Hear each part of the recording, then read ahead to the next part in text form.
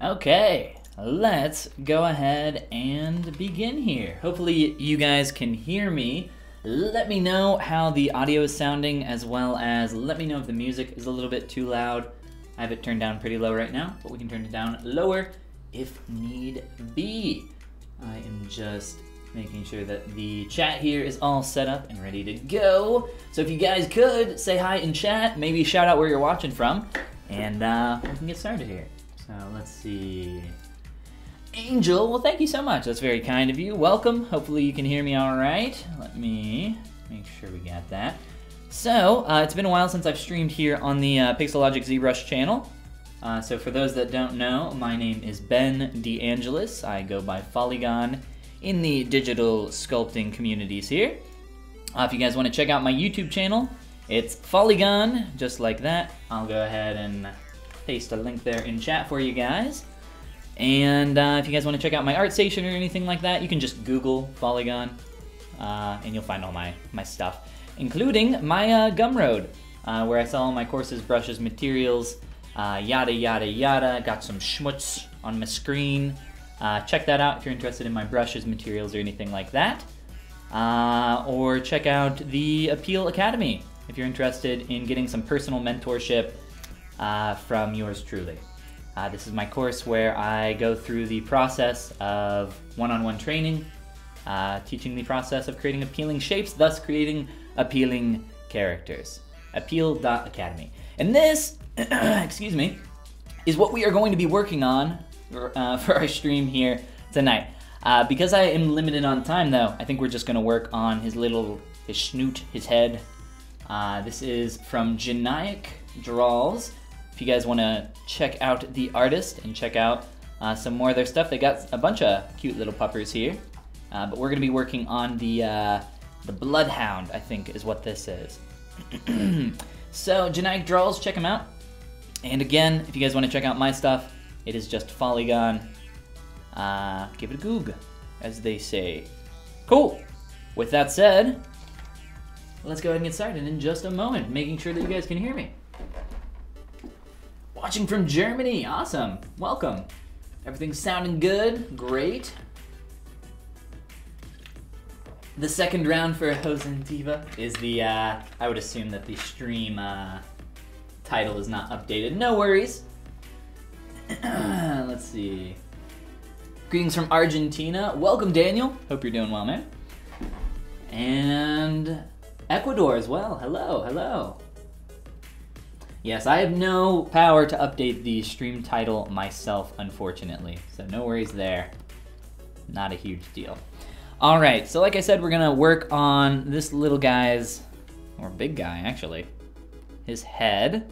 So actually, I'm gonna zoom that in a little bit. um, if we have time, we'll try to do a little bit of the body. But um, yeah, I'm just gonna go ahead and start working here. As always, if you guys have any questions about what I'm working on, my process, or anything like that, feel free to stop me at any time. And you know what? I am in the mood for starting off with a little bit of color here on screen. I think it's fun to just start with a little bit of color every now and again. So we'll start here. This is a bit of an awkward angle to work from, so I'm just kind of wrapping my head around it a little bit. Let's see. So we're gonna block this out with a couple pieces of geometry, just using some spheres. The first sphere for the base of the skull, the second sphere is going to be his nose here, which is just running down. We'll kind of deflate part of that. A lot of the time I don't like to start in color, so we might toggle this off for a moment simply because it occasionally gets a little tough to see if you start doing stuff like this and adding dark colors. Also just kind of depends on the material. All right, so I think what we'll do here is just grab another insert sphere. I'm using the IMM primitive brush. Just quickly dropping in a few pieces of geo. And we'll get that little nose in place. Feeling a bit like Pluto. I'm gonna turn down the music on my end. By the way, we're listening to Pop Sky. There's the spelling up there for those that are interested. I'm gonna be listening to him for our whole stream. He's got some really cool video gamey, kind of chip esque music. Really cool artist. Been following him for a long time, and the guy is just unbelievable. Creates some amazing music. I'm a huge fan. All right, so I think what I'll do is probably like a little bit of the neck, just like a little extension so that I have some of that. I typically don't like to model at an angle like this initially as well, but I think we're gonna have to make it work if we wanna start blocking this out properly with that reference. So we could use like a cylinder or any like kind of tube brush, like a curved tube snap, which is kind of my go-to. But honestly, this is just faster to duplicate a sphere, stretch it out, and go from there. So we'll start to get some more volume on this probably later. I think just having it as a placeholder for now is okay. And then later on what we'll do is start getting some of those folds. I actually chose this dog in particular because I thought it would be cool to attempt, I'm not sure if it's gonna work, but to attempt using some of the new uh, ZBrush 2021 dynamic features uh, for dynamically simulating some possible folds, some wrinkles, some of that more fleshy area around there. So we'll try it out, we'll see how it does. I, I'm not sure it'll work super well. Might require a lot of fiddling, but we can see. See what happens there. Alright, we'll just continue to block out the rest of this. I don't typically use Z-spheres too often. I'm more of a just slap some primitive geometry, start blocking out some shapes. I'm trying to think if I've ever seen an actual purebred bloodhound in person. And I'm not sure if I have. I'm actually pretty bad with recognizing like or knowing the names of specific dog breeds. I know like a lot of the main ones. But like I think that's a bloodhound. I'm pretty sure it is.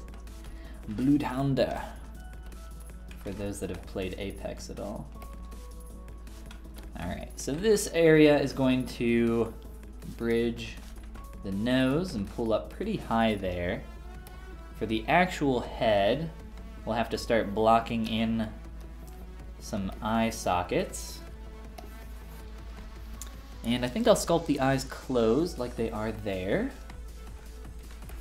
And we'll start getting in kind of that like capital M shape of the brow. It's a pretty cool shape. And this is really interesting. So you see how that line like follows all the way up through this direction?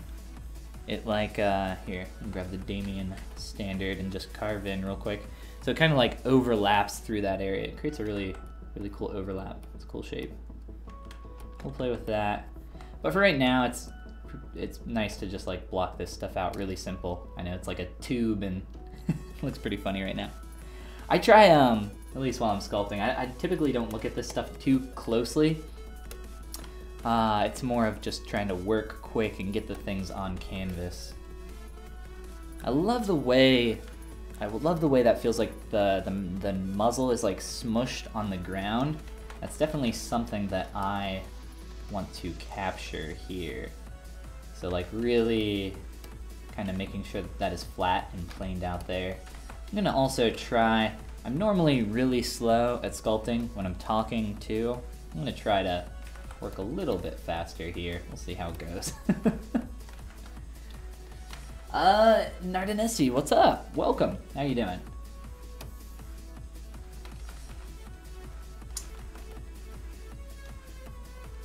Think you are looking at the wrong name. Misaki, what's going on? Welcome. Go ahead and dynamesh this. Keep going here.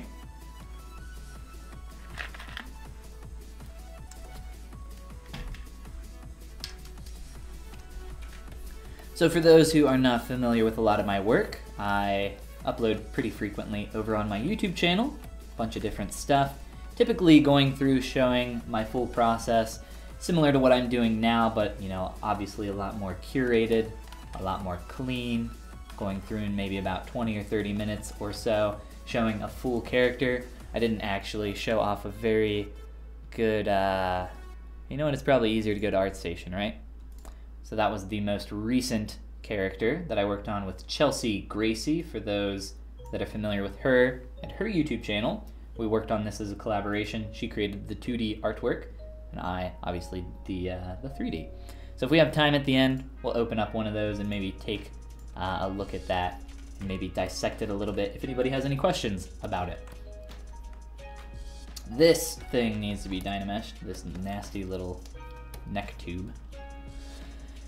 And let's see, I think we need probably a bit more volume around this head. So like I said, we're pulling up that M shape, stretching down pretty low. We'll fill in some of this down here. And I'm going to merge these together in just a moment, the, uh, the muzzle and the, uh, the head, skull. And the nose, we'll need to move that a little bit. That thing is pretty wide.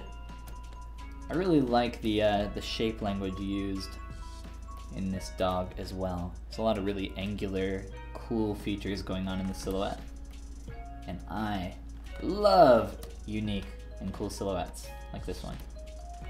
Alright, so I, I want to try to keep this pretty flat down here. I might even chop that a little higher just so we can, that's a little bit too high, just so we can kind of smooth that out a little bit. I pretty much always, I haven't really thought about this too much, but for those that are, you know, big ZBrush users, for the alternative smooth, I pretty much always use the alternative smooth. Uh, it's very rare that I actually use the normal smooth uh, function in ZBrush, which is just holding shift, right? I typically only use that if I'm trying to smooth something very strongly. A lot of the time I will use a uh, trim brush, like what I'm using right now, to kind of smooth out a surface. And then I will use my uh, alternative smoothing where you hold shift, start smoothing, and then let go of the shift key, so your other hand's just, you know, doing whatever. Uh, that is a great, great smooth function. I like it quite a bit more over the, uh, the standard. Alright, so if we look at that silhouette, we can kind of see how that's curving right now. We don't want that to curve at all. We want that to be perfectly straight. And we actually want that to be quite a bit shorter. I'm trying to figure out exactly how that's working here in three-dimensional space. Probably need to analyze it just a little bit longer. This feels pretty straight to me. Kind of comes back a little bit, then forward. I'm someone that obsesses over silhouette. As a stylized character artist, it's very important. Silhouette is one of the most important things, if not the most important thing for your work in sculpture, which seems a little strange, right? You're a 3D artist. And the most important thing is the 2D element of it almost. Hey, but that's just how it works. These need to be quite a bit closer together.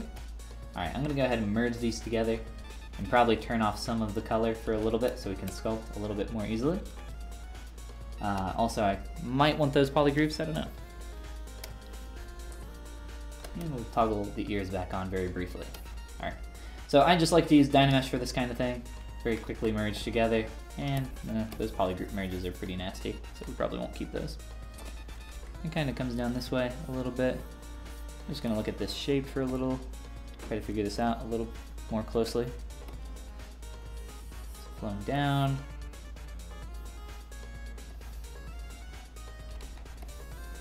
Out, in. This shape is very interesting. You can tell that this person probably has a really good understanding of human anatomy. That's actually the shape that you would see in the side planes. The musculature of the nose kind of creates this like pointed diamond shape. It's a pretty interesting choice. Play with that a little bit more. I like to keep things nice and sharp and hard during these early stages. We'll soften it later. No worries. Uh, great skills. Well, thank you, Takavech. Appreciate it. Love your sculpt. Planning to get on ZBrush so that I can try doing it too. Awesome. Looking forward to it. Misaki, you should uh, definitely post your stuff online. Shoot me a tag and I'll check it out. Howard, welcome from Puerto Rico. I don't know how you duplicated the sphere so fast. Um, I either clicked duplicate or I just held the uh, control key while moving like that. Uh, so control key with either the 3D gizmo or transpose line and you can quickly control click and drag an object. Okay, so look at this. This is a pretty cool shape that's happening right here. So we go down and then out. Right now we're just going straight down, right? So we need to go down and out. Right about there. It's almost like it, that's like where it kind of smushes against the ground a little bit. Trying to think of the best way to do that. Let's see. I'll have to play with this for a little bit, try to figure it out.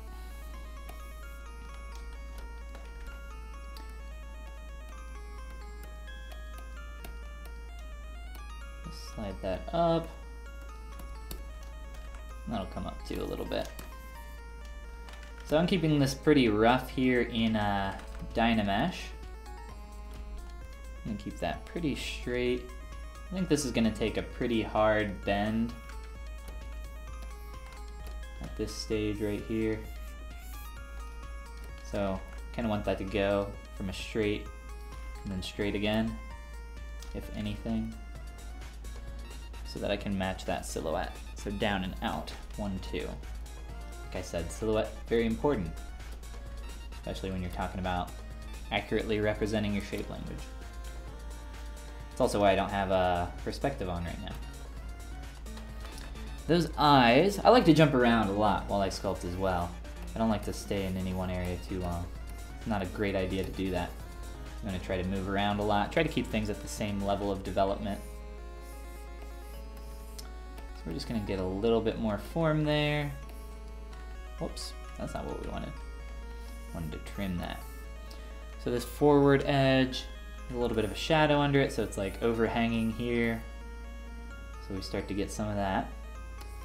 Looking pretty good. Keep building that up. And then about here, see that cut in, coming down, creating that larger M shape that we talked about earlier. And then this, like I said, this shape's pretty interesting, the way that overlaps there. Got a little messy. We'll just maybe throw a subdiv in there real quick. And looking at that line, deciding what I want to do there. Keeping this pretty symmetrical for the time being. But that probably won't always be. Especially since this is not drawn symmetrically. And I think we'll kind of fade that edge out, pull that edge down. This shape's pretty messy so far. Let's see. I want to figure out what I want to do down here a little bit.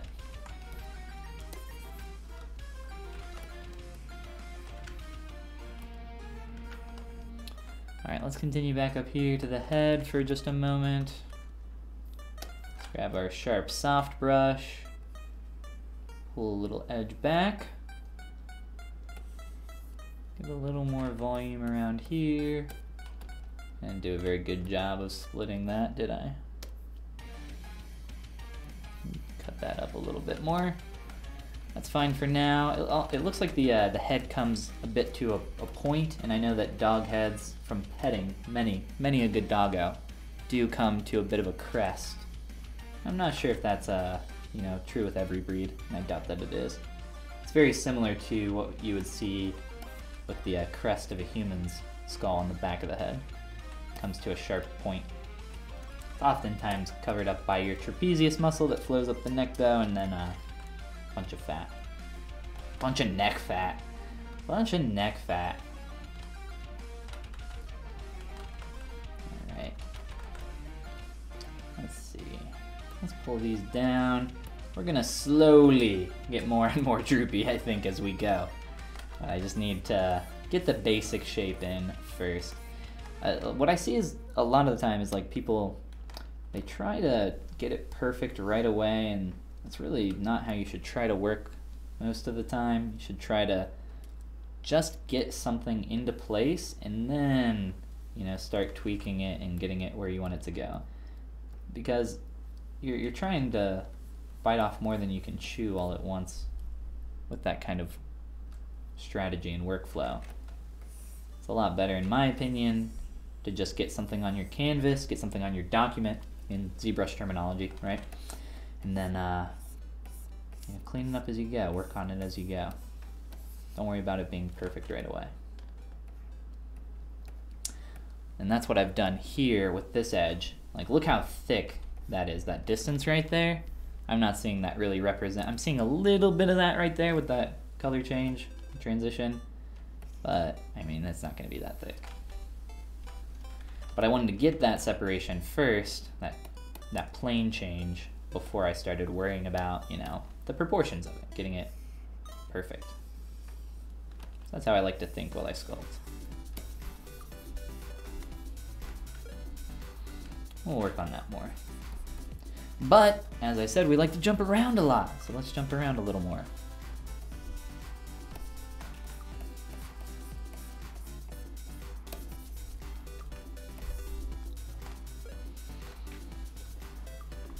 Zofa, what's going on? Why don't you stream on Twitch anymore? I haven't streamed on Twitch in like all, uh, maybe two years, maybe definitely one year at least. But I stream on my YouTube channel every once in a while.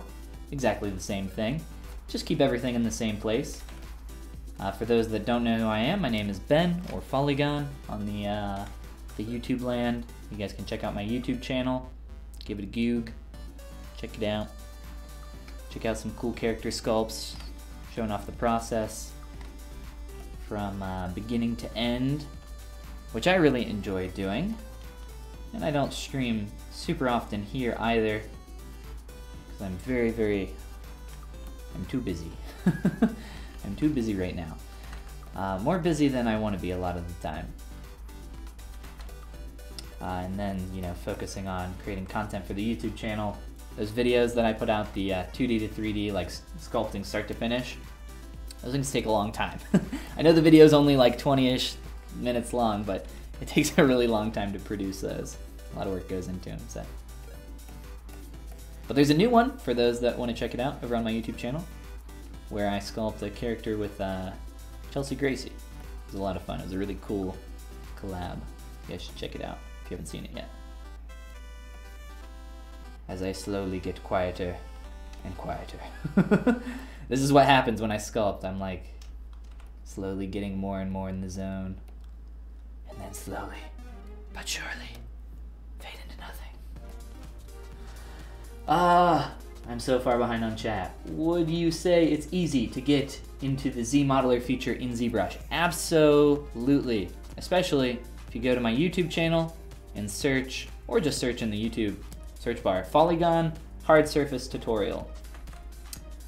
Whoa, what just, whoa, whoa, whoa, whoa. this is not what I want. What's happening? I have no idea what just happened. That was a weird one. Pixologic, if you're watching, what what just happened? Um, yeah, so search hard surface Follygon tutorial, something like that, or hard surface tutorial Follygon. You will find it. I go through a lot of the features with the Z modeler brush, and then there's some uh, there's some new features as well that you know. Once you kind of know how to use the old stuff, the new stuff is even even nicer. There's some really cool stuff with the uh, 2021 update. I keep wanting to say 2020 because it is 2020, but it's the the new latest update.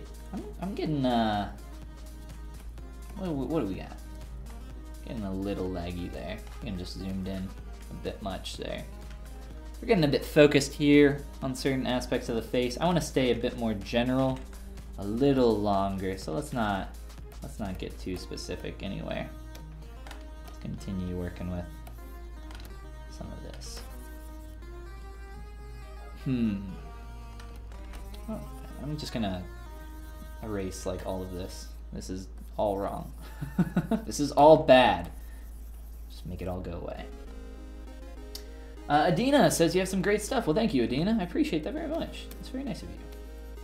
And welcome. Welcome everybody who's just now hopping in to join us in chat. The uh, viewer number has been stuck for a long time, so I don't know how many people are actually here, but welcome if you're just hopping in to join us. Hope you're having a good evening, or maybe morning, depending on where you're watching. So this like takes a bit of a sharp edge turn that direction. And then we got the the schnoz. The schnoz is the most important part of every sculpture. We all know this. I spend all my time sculpting the schnoz, and I only refer to it as the schnoz. There's no other name for it.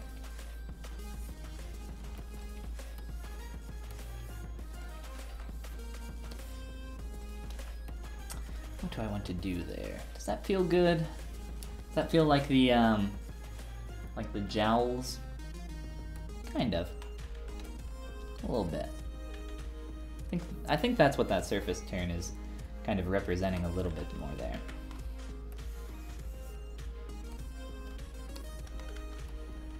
Alright, so just making that a little sharper at first.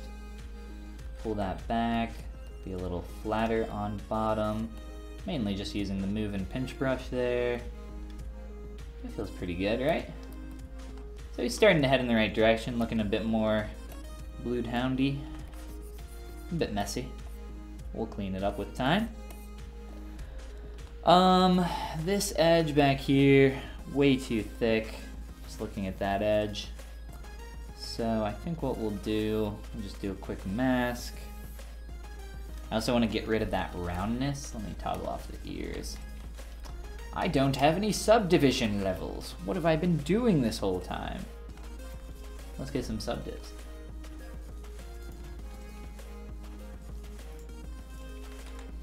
Uh, so typically when I do this, I'll just, you know, Z mesh pretty low. The fact that I'm even doing two, the only reason I'm doing two is because I have like a little bit of a an eye form blocked out there, and I want enough geometry to block that out. I don't know if you guys just heard that big crack, but that was my ankle. that was so loud. Um, Seagull Rush, what's going on? Welcome, welcome back. Or maybe you should be saying welcome back to me. Hello, how are you doing? How have you been? Project history. Let's project some history between us and ZBrush. George, thank you for coming in and saying hey. Glad you're still catching up on YouTube. Welcome. Be fun to see what the new dynamic features would do on the nose and the, yes, that's what I'm planning. I think it would be cool. That's why I picked this dog. The big old Saggy, Saggy boy. If I had a bloodhound, his name would be Saggy boy.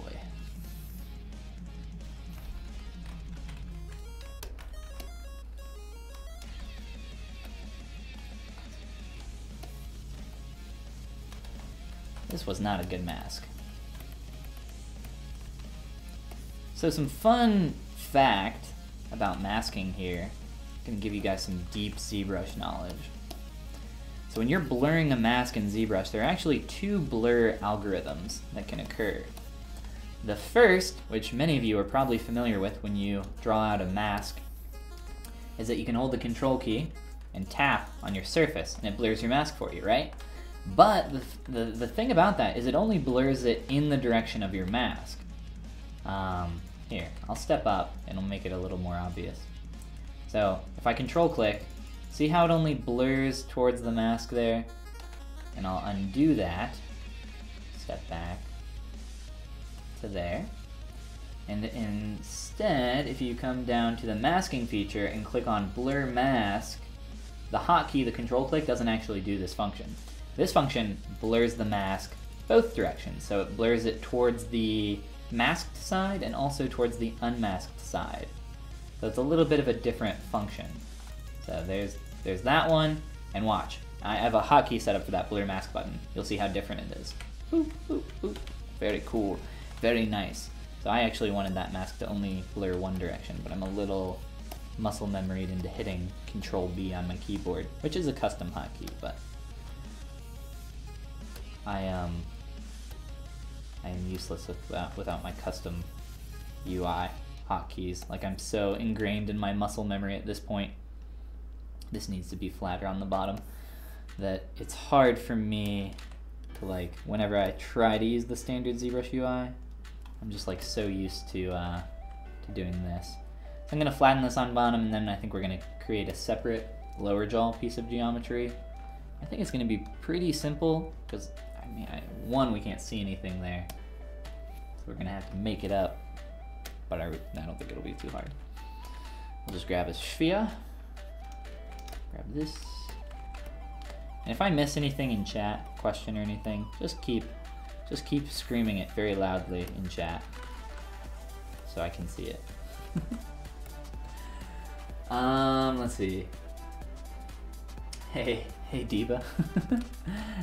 yes, I think the, the stream title might be incorrect. No worries. Um, you thought that the Obi-Wan beard, the Ben Kenobi look, Yes, very nice. Obi-Wan. Uh, no, the beard is not coming back for a while, I don't think, at least. It's just so annoying to have facial hair. but also it's so annoying to shave as well. There's nothing. There's no there's no good medium. There's no good middle ground. Alright. And then we'll kind of like blend that in, maybe do like a bit of a separation here. I don't want to spend too much time on this because, like I said, it's not really seen from this main angle that we're kind of looking at here. We want to spend most of that time on the beauty, the beauty portion of our character, right? That beautiful face. Well, I'll show you guys something really cool with these folds as well, the, the, the wrinkles, the skin folds. Show you a cool workflow. So the idea is that he's smushing it. Smushing that, that schnoz. Alright, so we'll dynamesh that together here in a moment. Let's take a look. Ears. So there's a bit more volume going on over here. Let's inflate that. Then a bit more in that direction. And then the connection there. Up, down, all around, out, in. Could try some dynamics on these ears, some of the new simulation stuff. A lot of the time though when I'm doing client work, it's so specific in terms of shape and form that some stuff you can't really really do that on. Some of the more stylized, specific stuff. This is not turning over. Come on.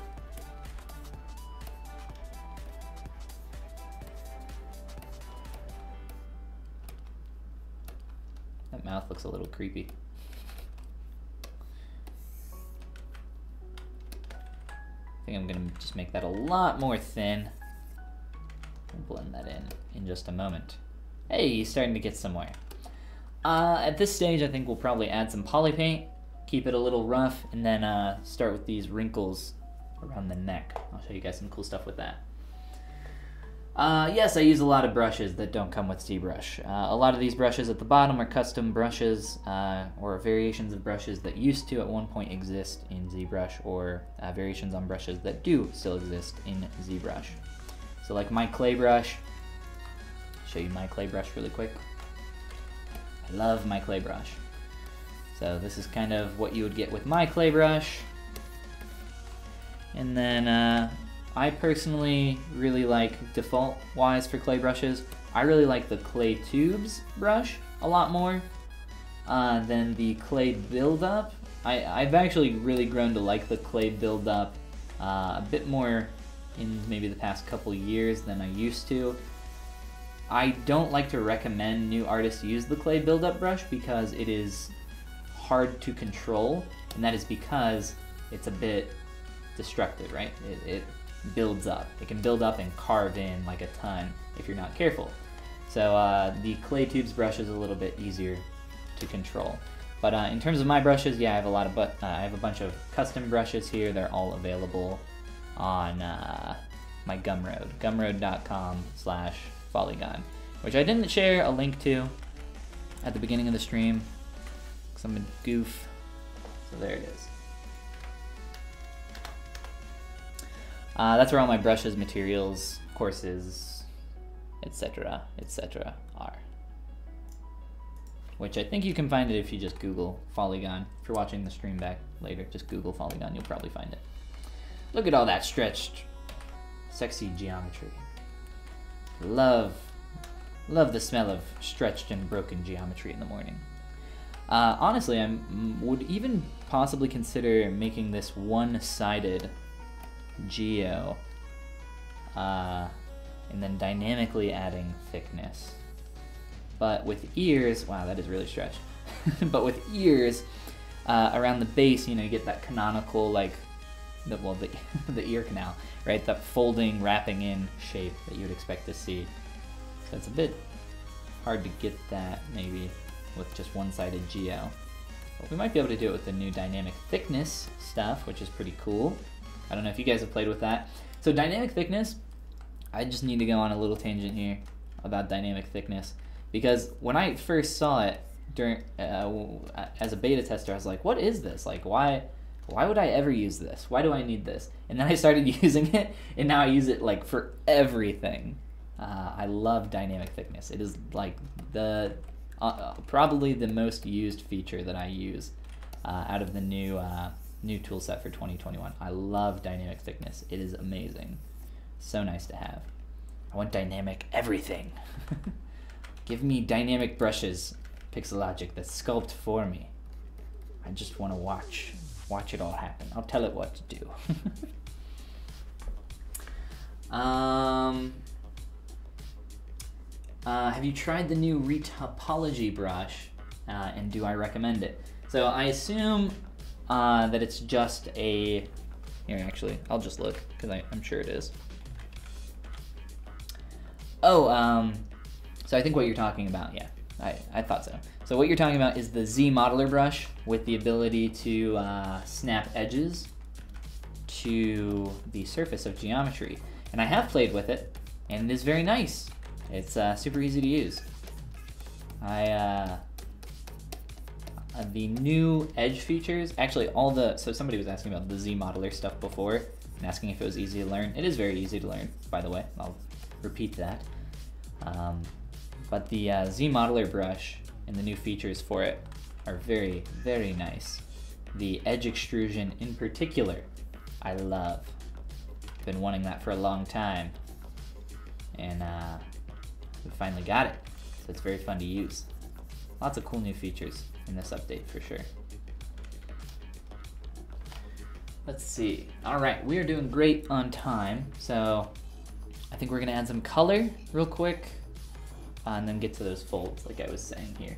Let me go ahead and grab some quick little color samples.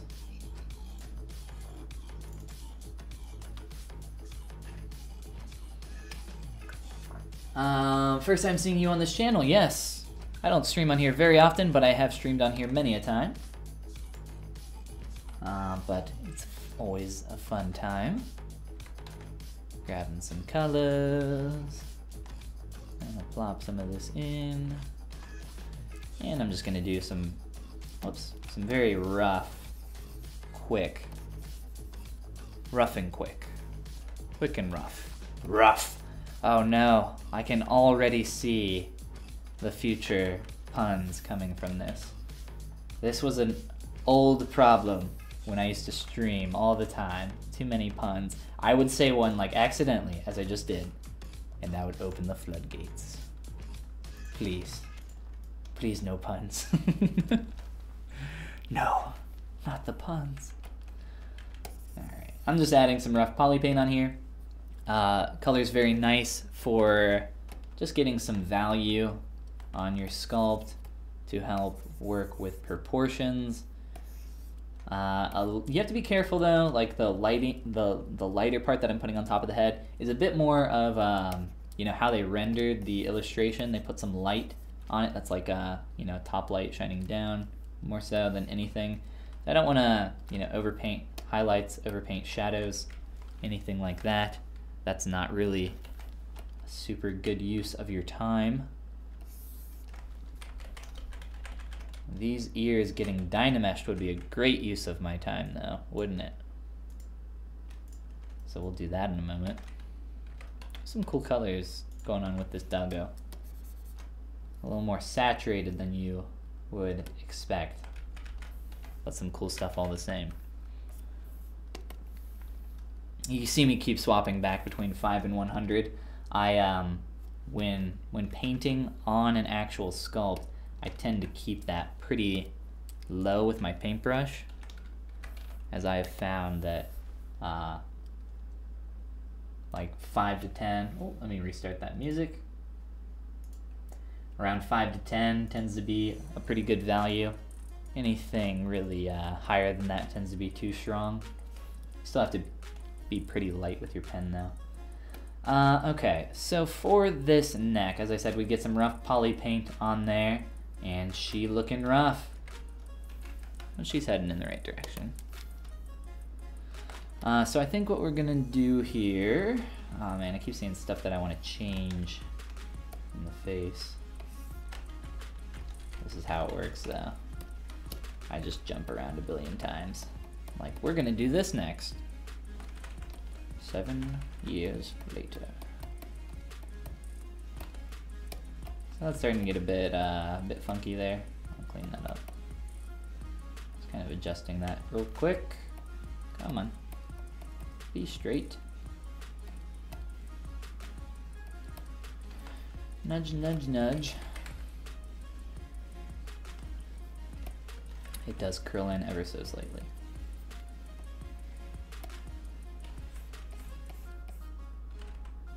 Okay, we will return to that. And now for some cool techniques with folds. I actually do the same technique on clothing uh, occasionally. It depends what the clothing is. Uh, but yeah, let me show you.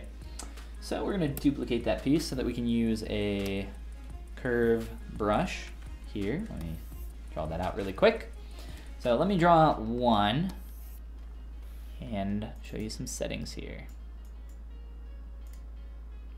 So under stroke curve uh, modifiers, if you turn on size and for the curve fall off, we're just gonna make a very simple little graph here going from small to large to small. We'll click on that to update it. You can see what that looks like. Uh, we'll, we'll probably make these ends just a little more thick though. And maybe a little, whoa, whoa. All right. So if you control, or if you just click and drag off the uh, the screen there, the little graph, it'll delete your dot or your your little point there, so you can get rid of them. Also, I don't know if you guys know this, but any graph in here, these, this works with all of them. If you pull off and pull back on, it won't be, uh, it'll be linear instead of um, curvy linear. So let me do that one more time because I do want that fall off. Trying to do that with my mouse. Should have done it with my tablet. All right, so there we go. That's like the basic stroke that we're looking for. We'll undo here and draw a couple of those on our neck. Like so. And start using those for some of these folds.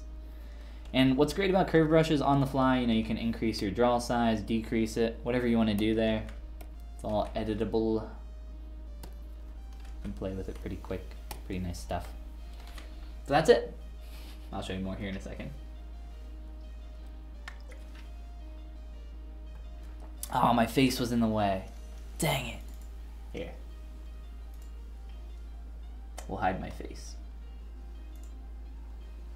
So uh, over here with the curve menu, you can grab your dot and drag it off screen, or you can drag it off and back on to make it a sharper transition, or drag it off and back on to make it nice and curvy. So that's the curve modifier size that I use there with the, uh, the little stroke there. Very handy, very nice for creating stuff that goes from small to large or any variation in between. Thank you for letting me know. See, I actually read chat and it helped us out. um, Follygon is old school. I'm old school. Oh no. Uh, well, I'm glad it's helped you out, Raphael. Thank you, man. It's very kind of you. Um, let's see. If I missed anything else. Let me know if I missed anything else in chat. I apologize if I did. Um, a lot of people are asking what happened to the beard. I haven't had the beard in a long time.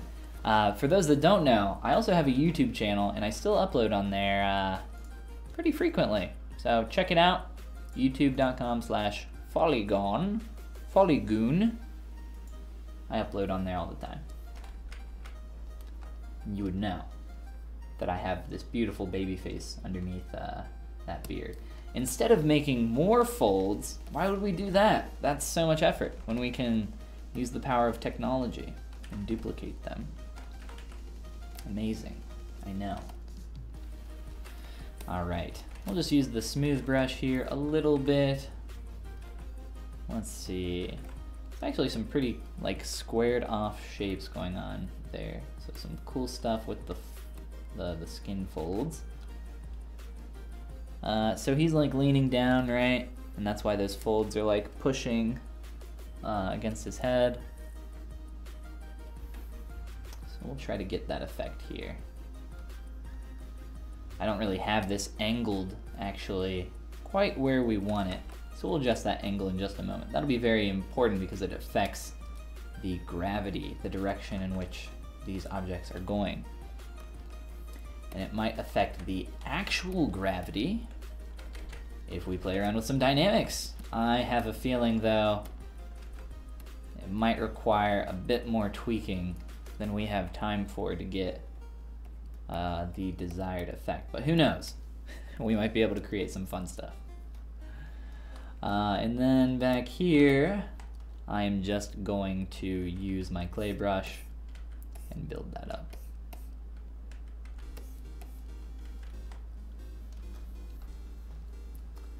Uh, and we'll need to get some more volume underneath that head as well, a little bit flat.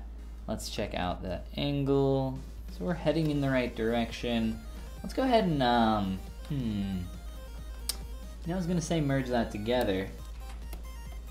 Let's see, let's get our subtools figured out here. Let's see if we can just do a quick little rotate up. Something like that. I actually am liking that silhouette swooping down, getting a nice S curve there. Some cool stuff. We're just looking at that. It looks pretty awkward without the ears. but let's um let's merge this together. Hmm. Hmm. Hmm.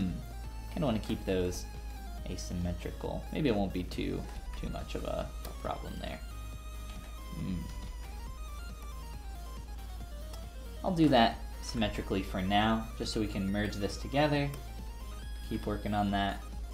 So we got the head, this does have subdivs on it, but we're gonna merge it in Dynamesh here in just a moment.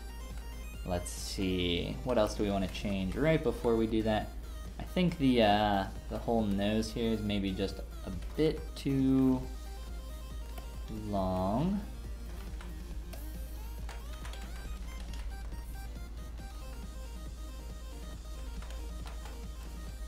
That's not a fun look.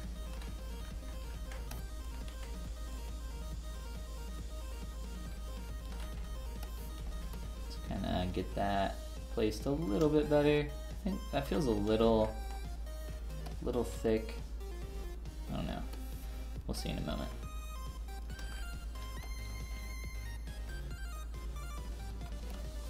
And I'm gonna have to blend this a little bit better as well. Alright, let's get that neck on here, on this head. Do a quick little merge down. Do a quick Dynamesh. What are we at? Three, almost 400. more than enough for where we're at.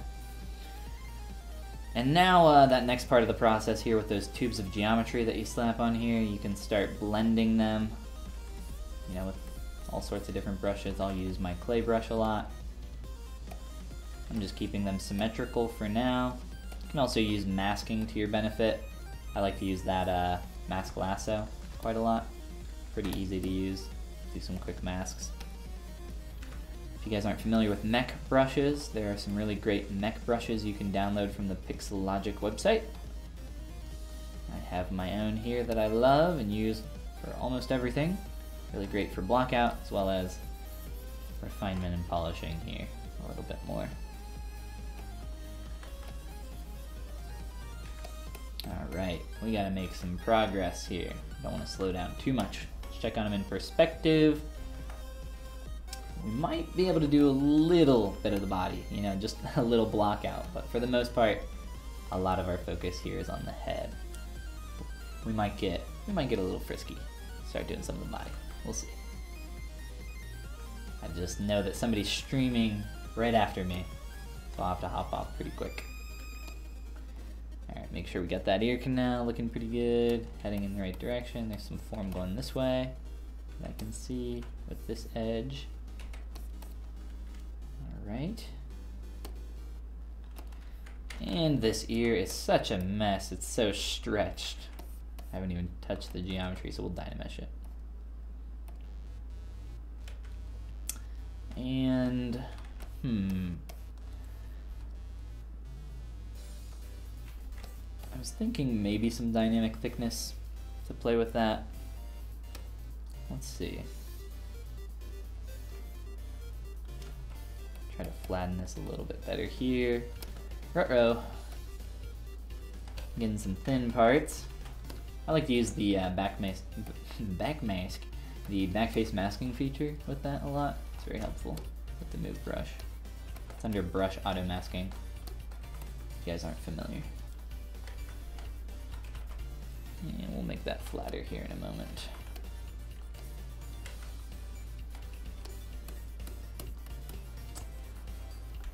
Uh, what is your texturing software?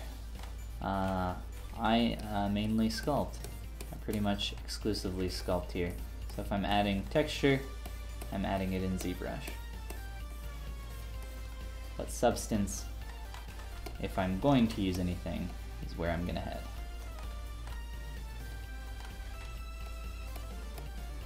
As of right now.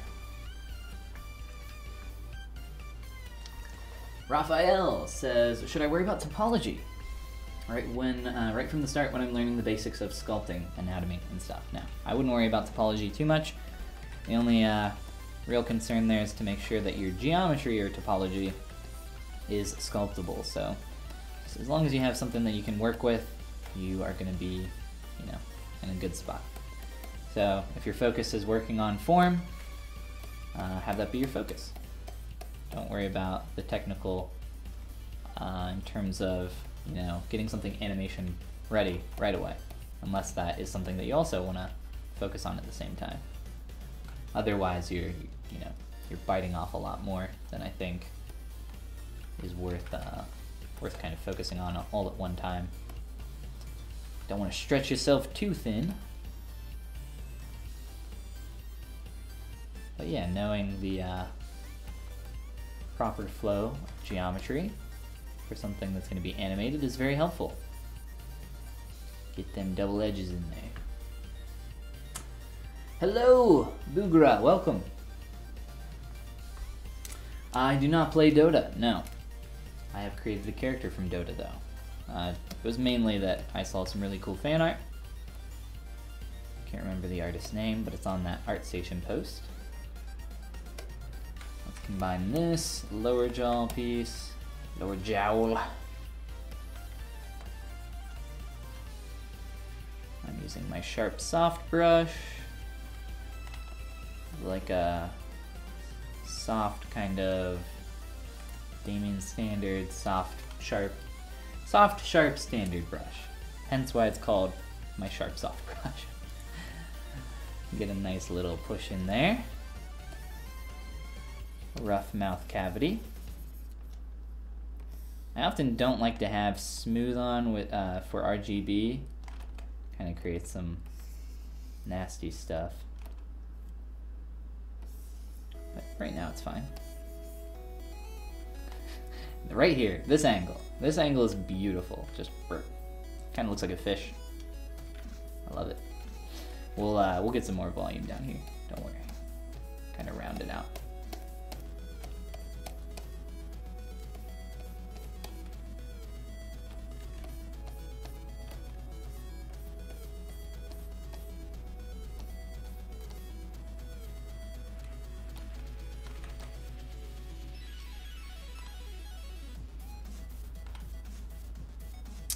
Uh, the character was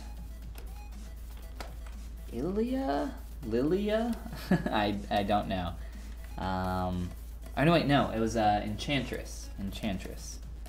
And then um, right after I worked on that, they re- uh, like the week after I worked on this character, they released um, Ilia or Lilia or something. It's like a Cervidae, you know, half deer, half human character. And everybody's like, "Oh wow, you came up with the idea before they did." I'm like, "Well, no, it's just, you know, another similar type of character." I don't know what the new character is. I don't. I don't play Dota, so I don't know their names. Whoever the newest character is. Good morning from Nepal. Just starting the day. Oh man. Nearing the end. Get a little bit of a separation there. Even that out some.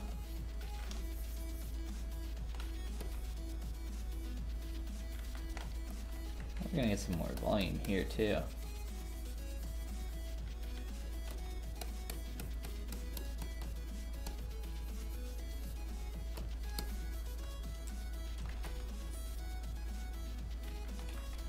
So I'm having trouble seeing what's going on with this form here because of the, the poly paint. I'm going to toggle that off for just a moment. It's kind of hard to see sometimes. Kind of hard to find the brush you want too.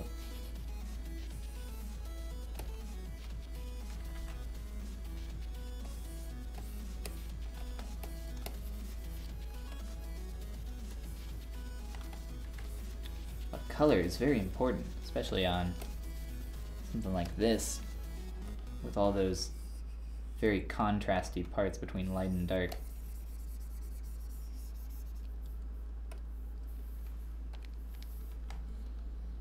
Okay.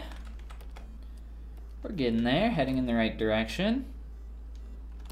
Probably do a bit more squash. The we kind of lost the uh, the crown of the head that I was talking about earlier, if you guys remember. So let's see, how can I do this? I think I'll just pull back, push down, pull up here. That's what I'm looking for, that, that hit right there, the crown of the head. And then, uh, let's see. This is, I think, way too far back. The location of those ears. Let's turn off perspective for a moment. We'll remesh some ears real fast. Lilia, thank you. What did I say? Ilya? I was close.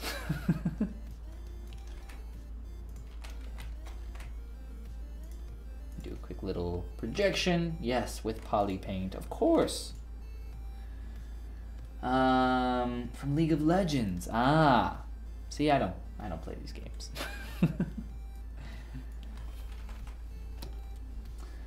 um, no worries, Raphael. You have a great rest of your night and I will see you next time.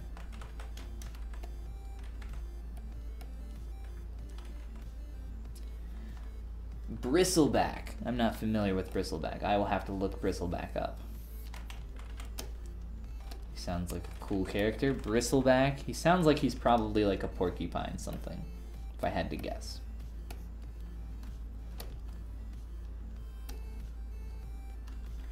Based on the name.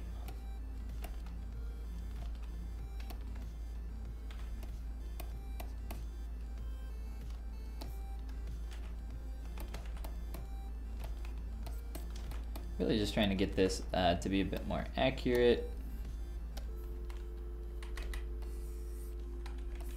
Get the kind of uh, that folded over look right here.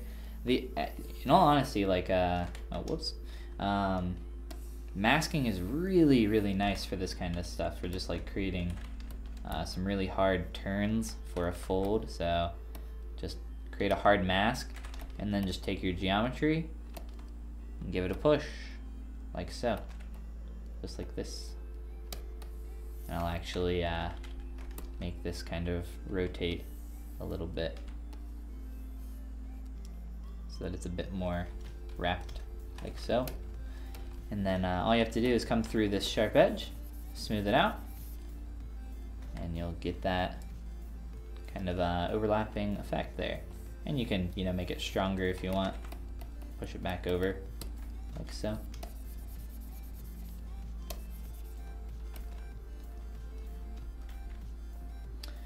The, uh, the volume that I have here is very uneven, which is why I was thinking of using dynamic sim, or I'm sorry, dynamic thickness. We can maybe do that. Let's see, I'm gonna go a little thinner, a little more thin. Wow, look at that guy. He's looking like a very good boy. All right, uh, I'm gonna remesh this real quick.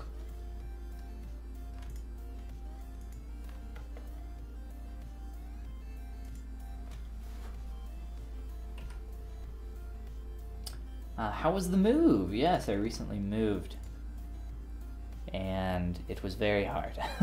Moving sucks. Moving is never, never fun. Uh, but all settled in now. New office. I don't know if you guys can hear. Let me see. This will be all the the foam up on the wall, etc. Back behind me. Hello. I'm not sure why my camera's cut off there. It shouldn't be. Oh well. but yes, um, got all the foam set up so that the audio doesn't sound absolutely horrible. This room was very echoey originally. Uh, much better now. Uh, but yes, all, all settled in. Moving. It's a lot of work. Uh, let me fix this up and do some projections. One more, should be more than enough. And we'll start getting this to be a little bit more specifically close to our reference there. Now that we have some pieces combined, a little bit more.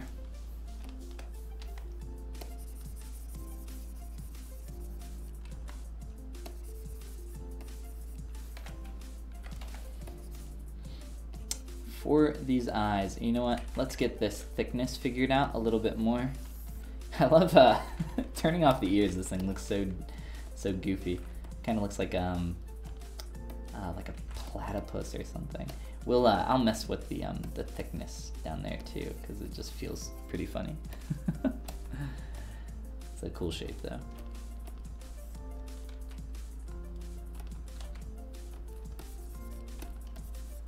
Oh, and by the way, here I'll, I'll really quick uh, shout out the artist once again, Janaic Draws. If you guys are looking for some some cool practice, she has a bunch of uh, dogs uh, that they drew recently. Uh, all sorts of different types of dog breeds that are very fun.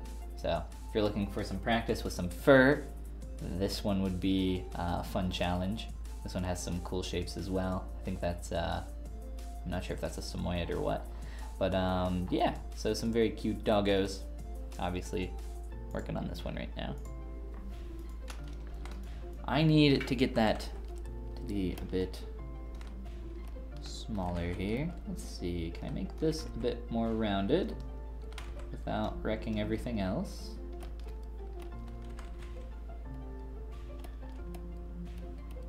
Oh, such droopy, tired eyes. This is how I feel right now. That's why I sculpted this this little dog. It's like this is how I feel.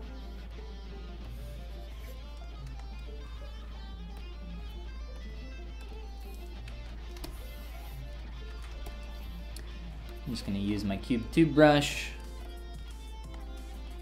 and do a quick little eyelash, just representing that black line.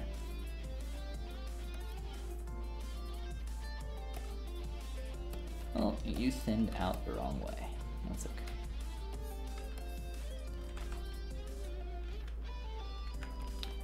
This is not what I wanted. I wanted it to go the other direction. That's okay. actually. I'll just uh, delete some of these edges real fast and we should be fine.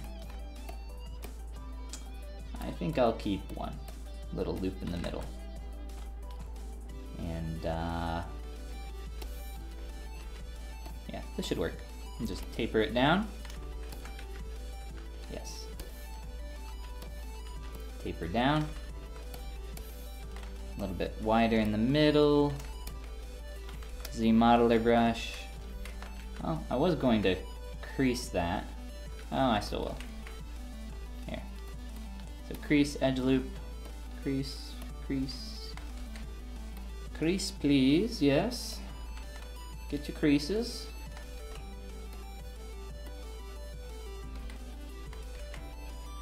Alright. Very quickly. That's pretty much the effect we want. I just want to make that a bit more accurate in terms of placement as it's sticking out pretty far over here. So we'll do that, pull forward, a little pull up, and that should do the trick. Let me angle this back on the the back side a little bit more. I hate uh, doing too much poly modeling here on streams because I know it's very boring to watch, so I try to go through it pretty quick.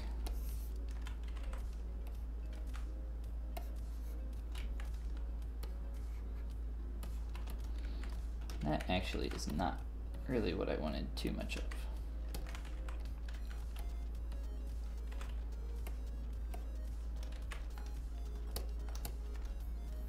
There we go.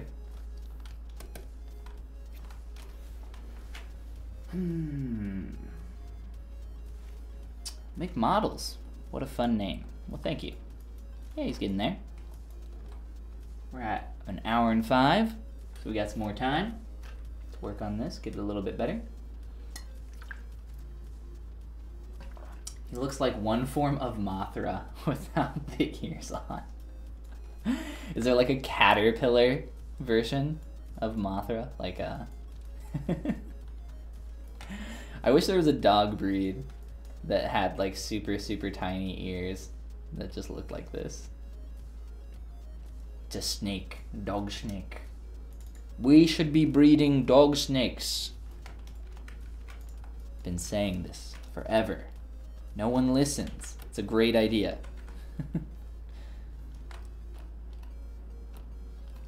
Alright, that mouth shape's pretty boring, so you know, he's to be a smiling pupper, of course, because he's very happy about the scent that he found, picking up the scent of blood, because he's a bloodhound. I wonder what the origin of bloodhound is. Should look up that etymology.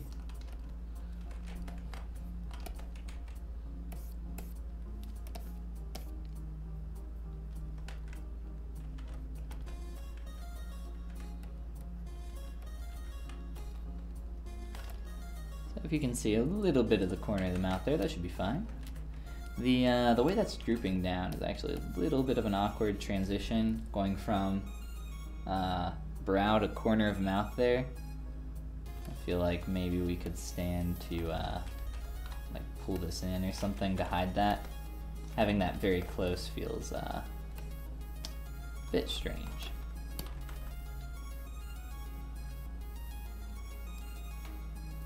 So left side we're good. Right side I think we just need to...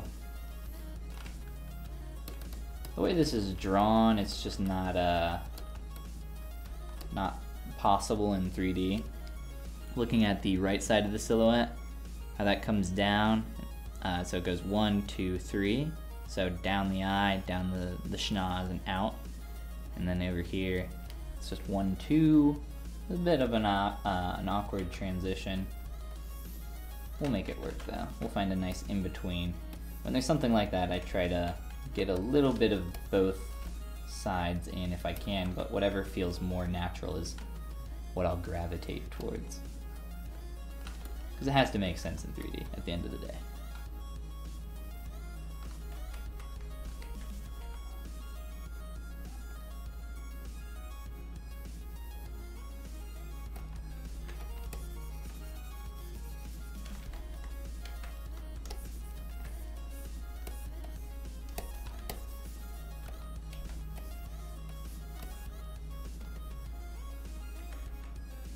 What's going on, Chris?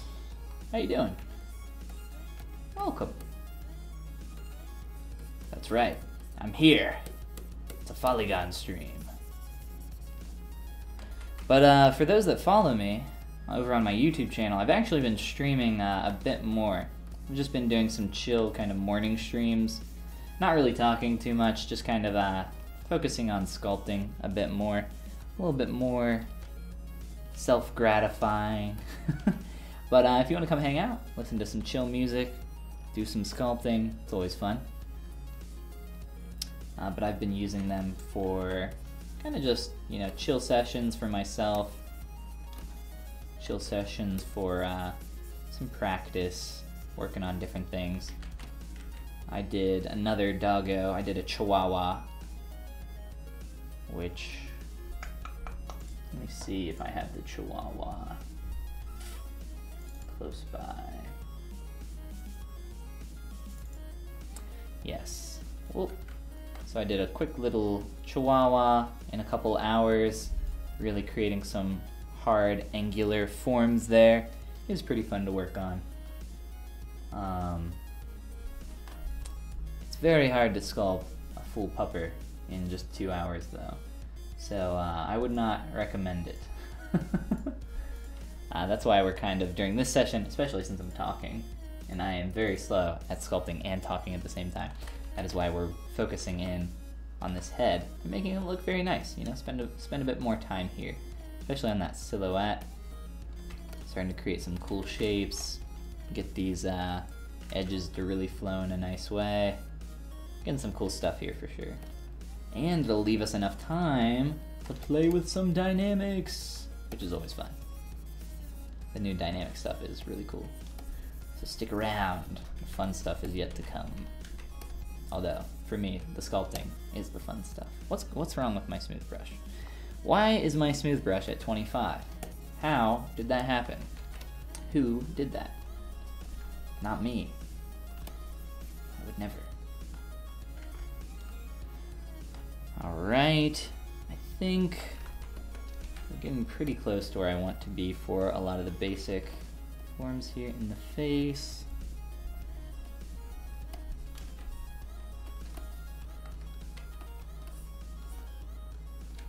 A little bit too sharp in a couple areas.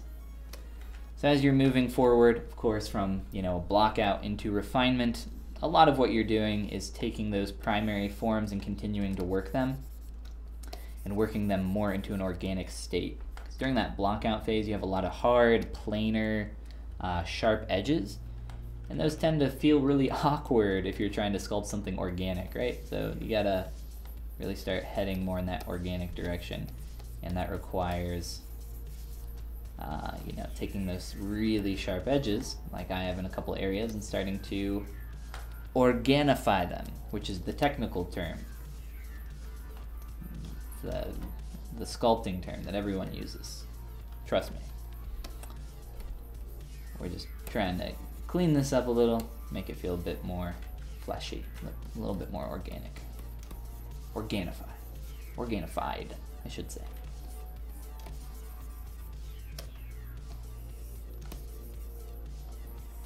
in some of these inflated areas, feeling pretty good. A little bit more gesture in some of these shapes around the eyes. Some of that's still pretty messy, isn't it? I, I love this overlap. I was talking about this uh, at the beginning of the stream, as I was starting to get that. There's our awkward little Mothra friend. Let's get in here, create a quick mask. I'm gonna get this edge to be pretty, pretty straight from this angle. And pretty thin. I want it to be more thin up there. Uh, just a little. His nose, this big old schnoz is in the way. And what I want to do is grab this and start overlapping it. And it's going to be the same technique that I used on the ear to get that fold here, this overlap. And just kind of masking off the one area, nudging it over with the move brush. A little bit of smooth. Deflate this area a little. Alright, starting to work.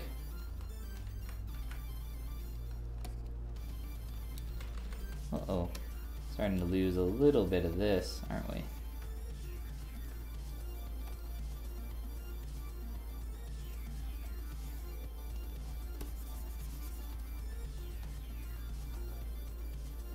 Quarantine is fine for me. Um, my life actually hasn't changed very much. As I hang out on the computer, sculpting uh, quite a lot. So that really hasn't changed all that much for me. So it's been fine. Not too bad at all. Um, looks kind of like your dog. Do you have a bloodhound?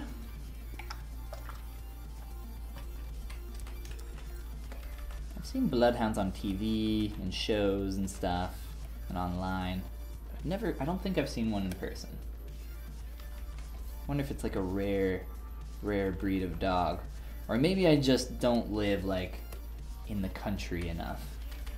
Maybe it's more of a country dog.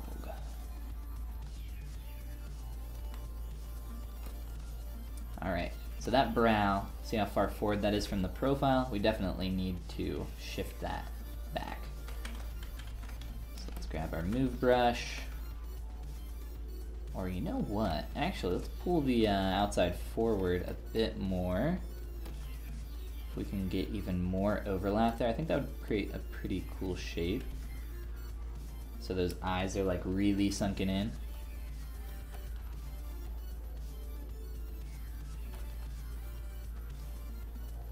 Oh yeah, I'm starting to like that actual curve there. I'm gonna pull forward with the brow. This is what I like doing. I like experimenting, finding those cool shapes there.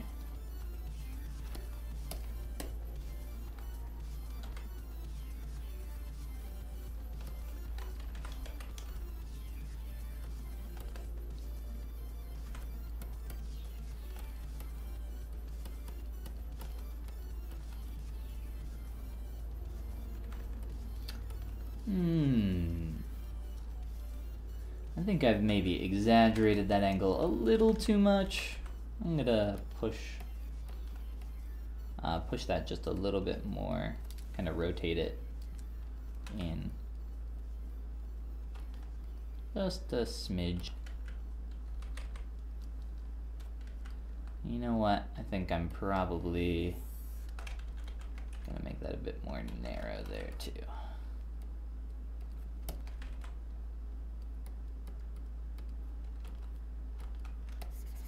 Very messy eyelids, but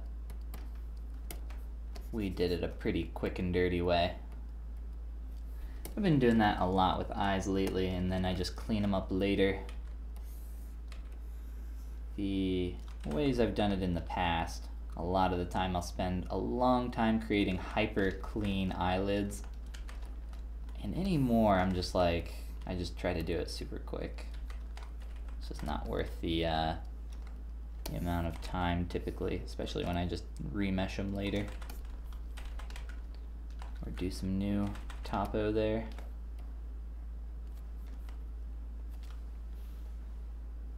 Where'd our music go? Come back. There we go. Oh, the Chihuahua looked a bit more like your dog. Chihuahuas are pretty common. And there's a lot of Chihuahua mixed breeds as well. Oh yeah, I like this shape a lot. This is starting to become really cool here. Ooh, yeah, I'm liking that. Some fun stuff going on there.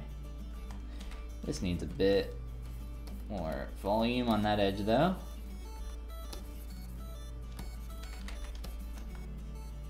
Uh-oh, got a fly.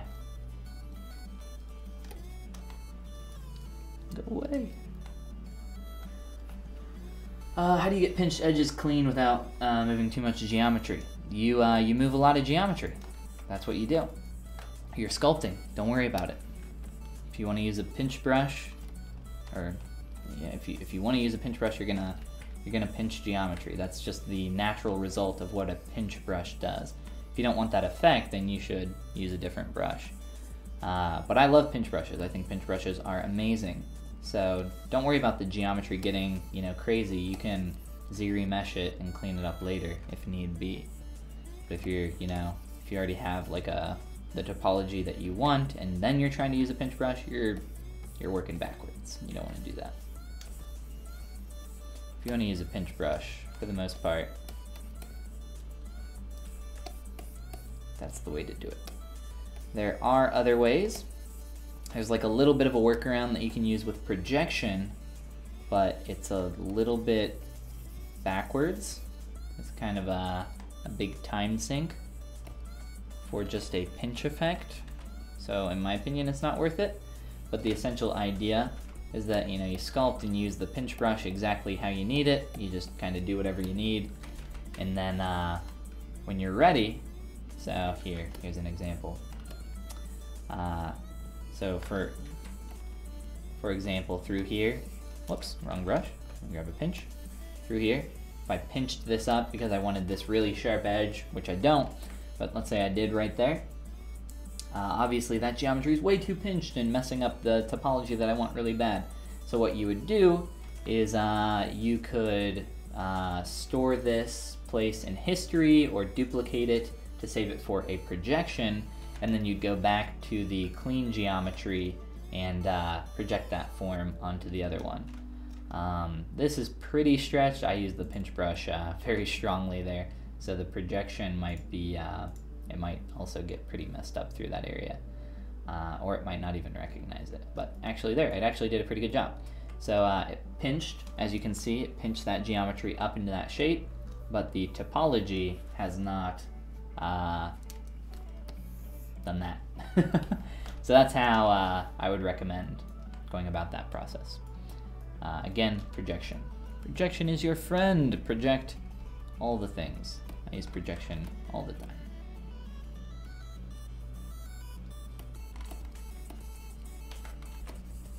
But in general, I would say, uh,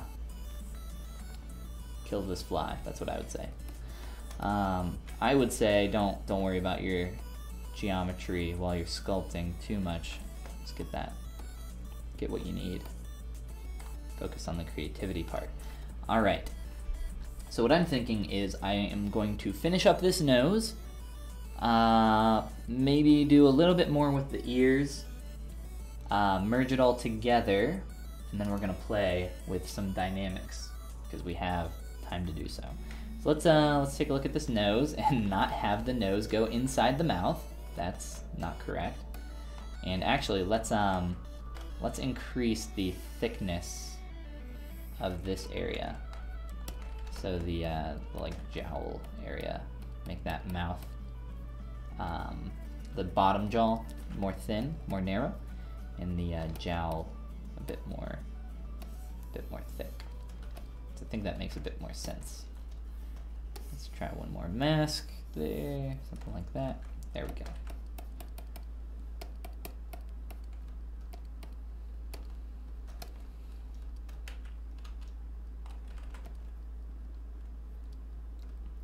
And then for the nose, let's see here.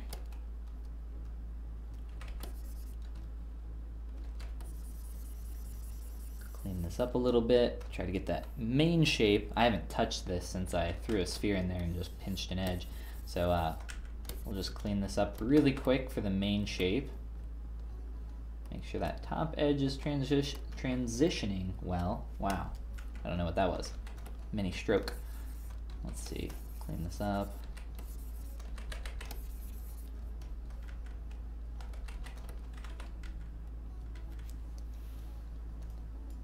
Also want to get a little more shape there.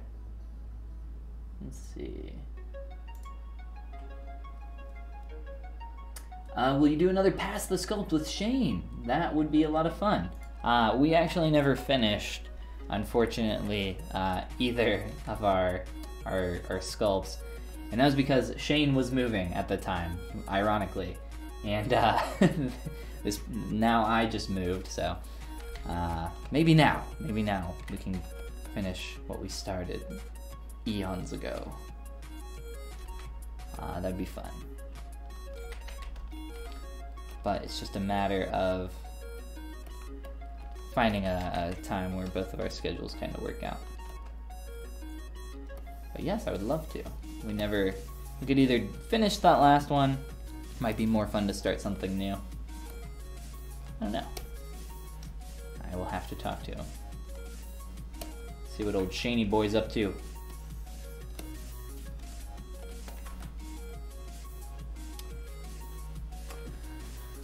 Um, of course, happy to help, Alpha. So, I'm thinking that I will just use my... Ah, man, I want that. Let's just switch our light. You know what? No. All the poly paint goes away, because I can't see. There we go. Wow, he's a beautiful little, little snake, snake dog. Just a neck and a head. Alright, let's adjust this shape a little bit. So, uh, dog noses, at least for most breeds, kind of uh, a bit more of this like diamond or triangular shape towards the bottom. Uh, not this thick, it needs to blend in uh, quite a bit nicer. So let's do that the trim brush. A little more volume. Soften some of that. Turn on solo mode for just a moment. Uh, for you at home that do not know about solo mode in ZBrush, you guys should be using solo mode. It's amazing, I use it all the time. Solo mode is this little button down here. It toggles on and off all subtools visibly, except for the one that you currently have selected. I use it almost like every other keystroke. Not quite.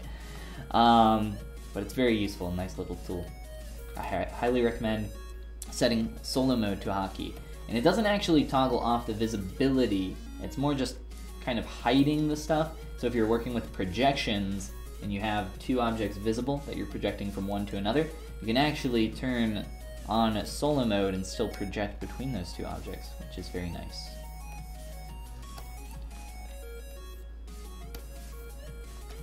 A little more deep ZBrush knowledge. Yes, ask me your deepest ZBrush questions, and I shall answer them from the well of Z knowledge.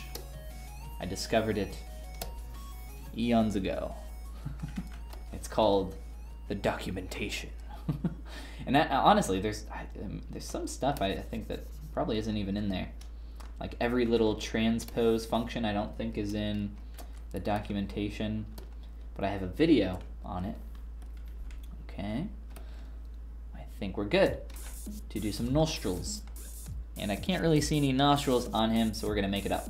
Can't be too hard, right? So let's just do kind of a rounded shape here. And let's see brush crash. Perfect. That's exactly what we wanted. But we should have uh, recovered a quick save. It looked like we did. Uh, again, for those that are just joining us, welcome, welcome to the stream. Pixologic ZBrush channel. My name is Ben. I go by Follygon in the digital sculpting community. Check out my YouTube channel if you're new around here, uh, where I have some cool start to finish ZBrush sculpts. Why is that not opening? That was weird. Um, where I have some cool start to finish ZBrush sculpts. My uh, 2D to 3D seri series. It's pretty fun Get that recovered Z tool there. Doesn't look like we lost anything. Perfect. Uh, as well as check out my Gumroad, gumroad.com slash follygon, for all my brushes, materials, courses, etc., etc.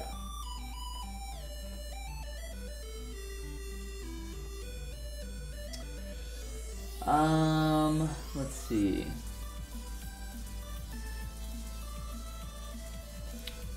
So we didn't really lose any progress there.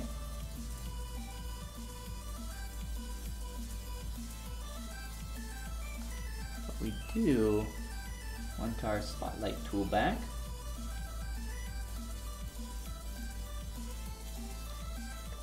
A little reference image there. And we're more so just focusing in on the uh, the head. We'll pull that back up, and we're back. That's what we love about ZBrush, right? Quick save. Never have to worry about crashes for too long.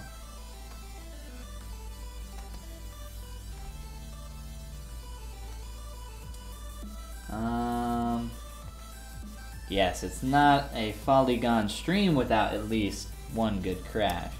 But I, I can't remember the last time I lost any progress on a crash. Actually, I can. Uh, I take that back. It was... Uh, what character was it? It might have been my athletic girl sculpt. I think it was. Uh, where my power actually went out. Lightning struck really close by, and uh, the power went out, and because of that, I lost, God forbid, like 15 10, 15 minutes of work. so really not a huge deal, but yeah, it can be frustrating sometimes. Uh, I might squish that nose a little bit more. I really want that, you know, like squashed effect on the ground. That feels a little bit, a little bit more squished. Uh, I didn't push these in far enough, did I? That's okay. I'm just kind of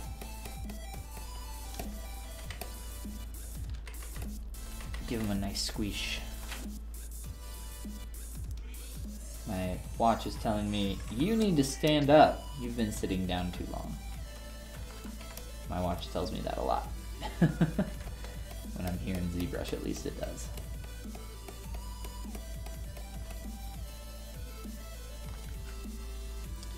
That'll do for now. That'll do. Get that poly paint back for the nose. Awesome. Uh, and then I think I would prefer to play with dynamics more so than uh, do like any body or anything for this because I mean that's just going to be like the same process that we did on the head, just more of the same thing of block out than refinement. So let's play around with dynamics, especially since you know some new uh, new ZBrush features, right? It's always fun. So I wanted to try doing some of that around the the neck rolls. I'm gonna clean this up just a little bit more while I talk. Some of that around like the neck rolls, maybe maybe the ears as well.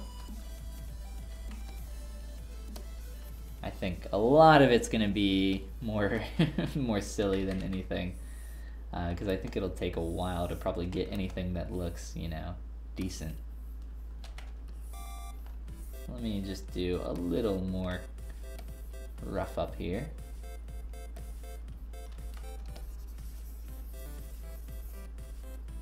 Keeping just everything symmetrical for a little bit. One fun thing that you can do if you're trying to blend some colors with your smooth brush, just turn off Z add and then just go in on the poly paint and smooth it out. You can blend your poly paint like so.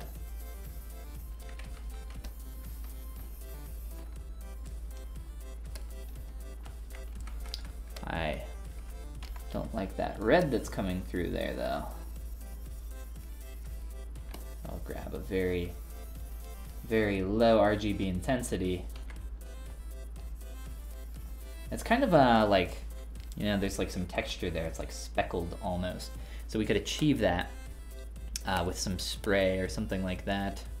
Spray and alpha 7, 07, some of that sprayed effect like so. Get a little bit of that in there, maybe.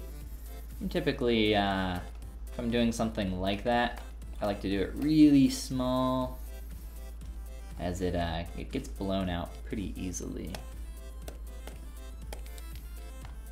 Clean some of that up. A little bit of a strong effect there.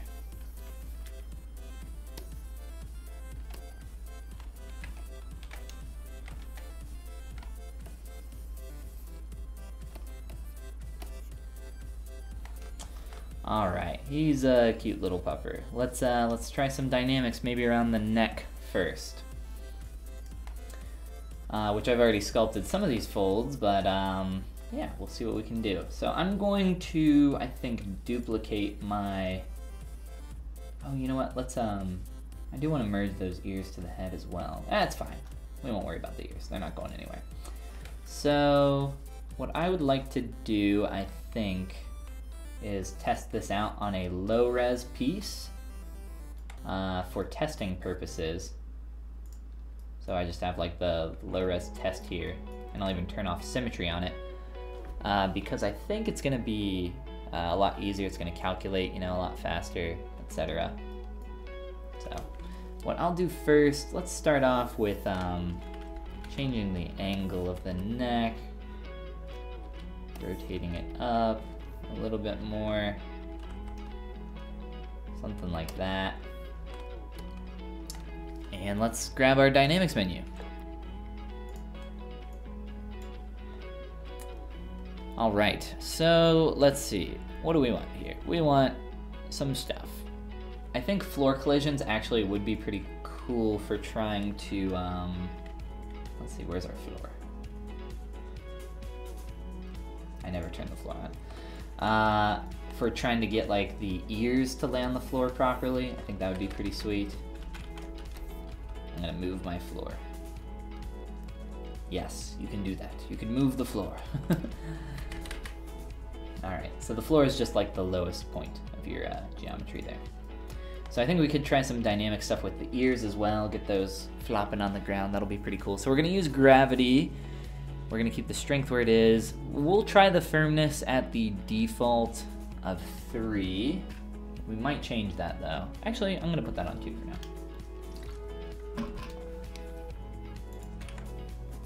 Um, let's see. No, we don't want allow shrink. We don't want to allow expand. We also want to store a morph target so that uh, the geometry or scale of the geometry doesn't stretch and get bigger. If you don't store a morph target before you do this, it'll uh, become a, a, bit of a mess. All right, inflate, deflate, all that's fine. Uh, we'll make this a collision volume. Yes, please. And we will just do a little run sim test. Beautiful! That is exactly what we wanted. All right. So we are going to turn off the ears. We're gonna turn off the nose. And those little lash pieces that we wanted there. Uh, recalc. Okay, we'll turn off collision volume since we're not colliding with anything. Ooh, okay, I like it. So we're too uh, we're too soft there. We'll adjust the firmness. Right now, I'm just trying to get uh, get my like firmness figured out. All right, so what we'll do next is try a little test with some masking. All right, so right now we're just trying to like figure out our settings, you know, find a good, find something good for, uh, for this. Let's see. Turn on dynamic. Okay, I think we're still a little too, uh, a little too soft. What do you guys think? A little more firmness. Like that. Okay, that's starting to feel like it's heading in the right. Okay, yeah, yeah, yeah, yeah, yeah, yeah, yeah, yeah. All right, that's heading in the right direction. Now we can actually play with um, some of the cloth brushes as well, instead of just running a simulation. You can also just straight up uh, rotate your model like so, and click on, where is it? Set direction, and now the uh, actual geometry will go like so. Uh, but we don't have self-collision on. Self-collision definitely needs to be on. Self-collision should almost always be on. I think it should be on by default, in my opinion. I don't know. I guess there's some stuff like some liquid maybe simulations would be better without self-collision. That's starting to look cool. Um, maybe some inflate as well might help us out. Heading in the right direction. Let's try the default there of one. Okay, let's make that a bit more. Whoa, whoa, whoa, whoa, whoa, whoa, whoa. Okay, too much inflate. Okay, two seems to be pretty good. That seems to work. Yeah, yeah, yeah, yeah. I like that. That's pretty cool. Let me see. Let's turn some stuff on. Go! Oh yeah, we could really smush that face. I love that. Uh, smush it right into the ground. We just keep keep it going. Keep going. Keep going, doggy. Oh, that is, ew, that is nasty. Simulation stuff is so fun here. I love uh, love that tool set. Really cool. Uh, but I really like the uh, the uh, general placement and setting that we found there with all that. I'm just creating a quick little poly group. So again, this is the uh, the test piece. I've just duplicated this and I'm using the low res geometry to uh, figure out the settings that we want to play with. And now I'm going to start playing with some cloth brushes as well. But I'm to do that on, uh, whoops, didn't meant to hit delete there, on the uh, original piece of geometry here, which has subdivision levels. Uh, let's see, yes, perfect. It's that first one where it's just smushed. It's exactly what we wanted. What's up, Devin? Welcome. Welcome to the stream. All right, let's uh, let's try this on the. Whoa, whoa, that was weird. Mouse stopped working. Let's try this on the ears as well. So what we're gonna do is set direction. Do a quick little mask on the ears. And we want, we actually want, uh, where is it? Yes, floor collision is on, okay. Our uh, geometry is quite a bit too high. Res there, which is fine. Hopefully the stream isn't lagging too much. Oh, we do not want inflate on this, by the way. We will not want inflate for that. Uh, but I think what we're gonna do is lower the res of the geometry. Because honestly, there's not a lot of form going on here. Should be fine without. Uh, also, I'm gonna add some asymmetry to these ears really fast. Uh, too uniform. So let's, um, we'll just add some quick little nudges. Nothing too crazy.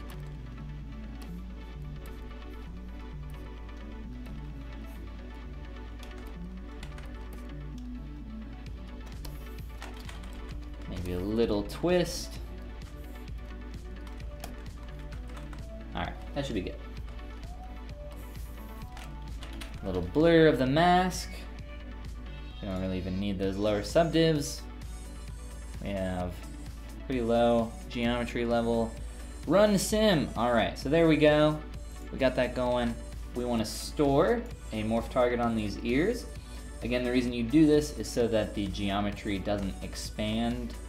Uh, it tries its best to retain its main shape. Plus, we can actually use the uh, morph target if we would like to uh, uh, kind of flow back and forth between one state and the other. So it's pretty cool for that as well. Marco, hello. How is Chile? How are you doing in Chile? Uh, artists that I find inspiration from. Well, I would go to my ArtStation, artstation.com slash follygon, and go to following. I follow 762 people on ArtStation. It's quite a lot. And there's a ton of artists that uh, I, I pull inspiration from, uh, including a lot of the people that I've created uh, some artwork from over on my ArtStation. If you want to check out some of my recent pieces, or if you want to go to my YouTube channel and uh, check out some of my recent sculpts over there uh, for, for some of that stuff. But yeah, I mean, like, there's not like one particular artist I could name, I don't think. I don't think there's like five particular artists I could name. Alright, let's run some sims on these ears. That is pretty sweet. Okay, I love how droopy those feel. That is awesome. Um, I want that to be a little bit more only here on this, this last bottom area. So it's happening a little bit too much up top. Look at that, that's so cool. Ah, man. I love that. That's awesome. Okay, so there is that. So we get an idea of what that looks like. So you can see it's like uh, a little bit uneven there at the bottom. We can fill some of that in just because of the resolution of it starting to like billow out in a couple areas. The simulation stuff here is so cool.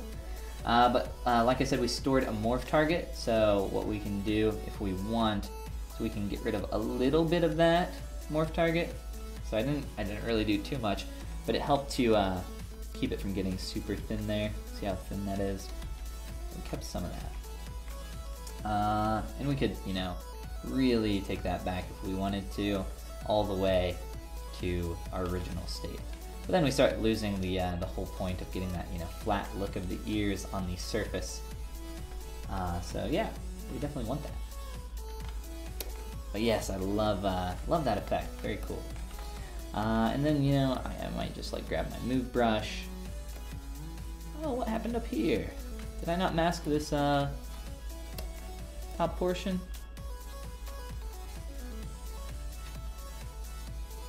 Huh. Well, that's odd. I'm not sure why that uh, became like it is up top, but luckily that's very easy for us to fix. Very odd. I think I had that masked as well.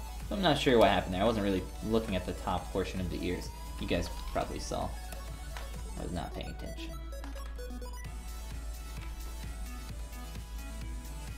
So I'll blend those into the head a little bit later. I don't want to do that now because I have subdivs on some of this stuff. Uh, and then for the head of Mr. Doggo here, I wanted to do it for the neck. So we're going to add some asim here to the dog head and then run some simulation stuff.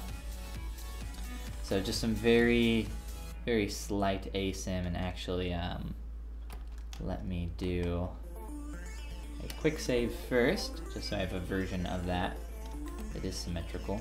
Or you know what, let me save it out for two seconds.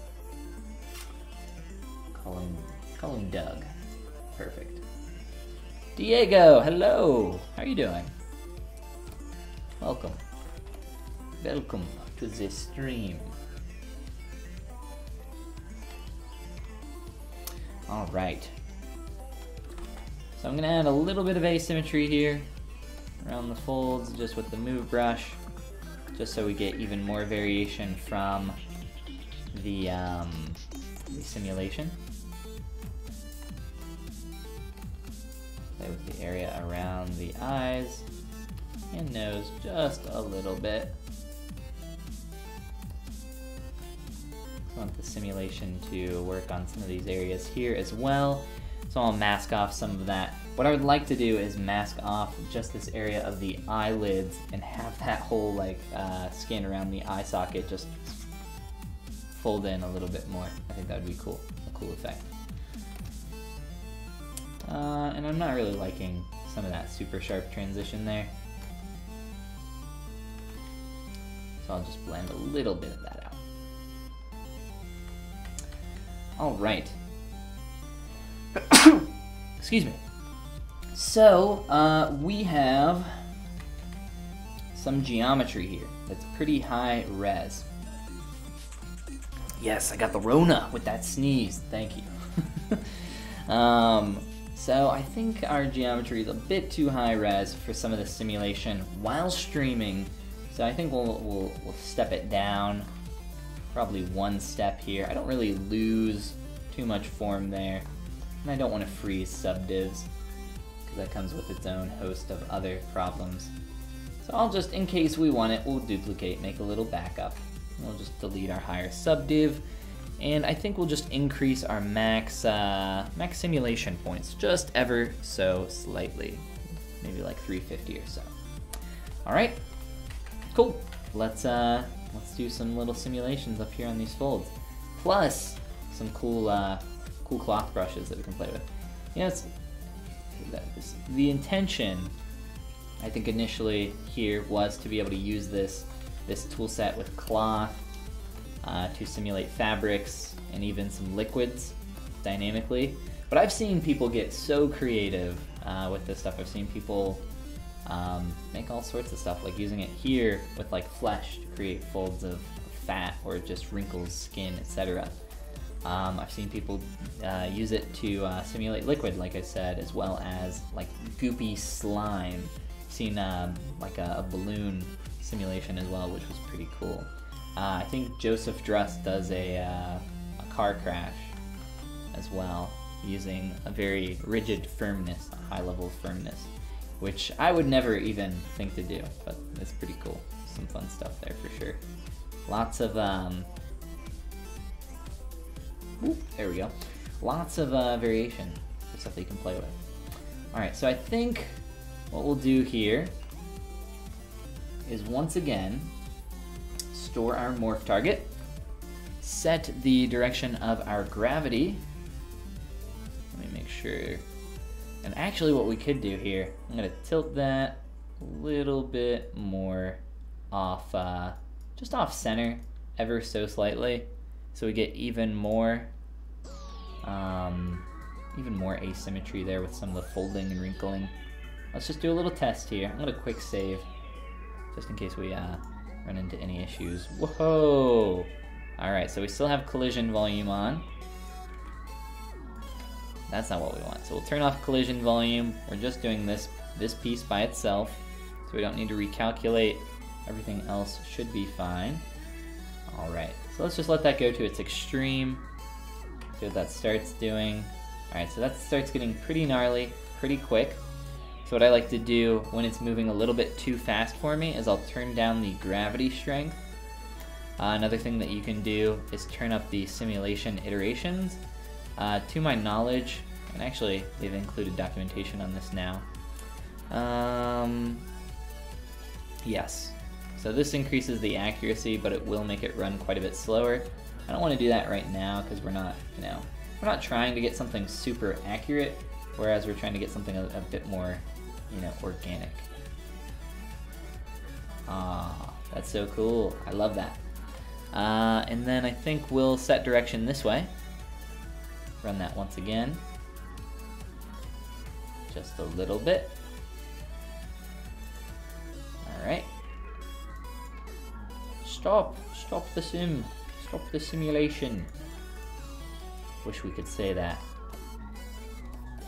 out loud about this year. Stop the simulation, please. Alright, so that worked pretty well. Some very cool organic forms here. I think I'll probably go over some of these just a little bit. Some of them are just, you know, a little um, a little strong in a couple areas, like the cavity that we're getting in there. There's just a little bit of a normal softening, a little bit of relaxing with the alternative smooth algorithm. Get in there, soften some of that up. But that feels so cool. That's so much fun to just be able to play with on uh, something like this with these wrinkles. Uh, and there's so much more room for uh, for playing around here with this dog. I'm gonna make that feel a bit more cylindrical. Started to get a little bit too much down there. But like some of these shapes, like you you can always tell. I say like when uh, some like cloth folds are simulated from Marvelous in the past, because people really struggle to sculpt these kind of natural forms, or like even some of these medium-sized folds, like I did in the ear. Uh, I find it very obvious when stuff is simulated. This kind of folding is really hard to sculpt if you're not used to doing it. And using masks can be a really great way to, uh, to get some of that. Or using the uh, tube of geometry that I showed you guys earlier, that's also a really nice way to start heading in that direction. So those are, those are some techniques if you don't have simulation toolset like this.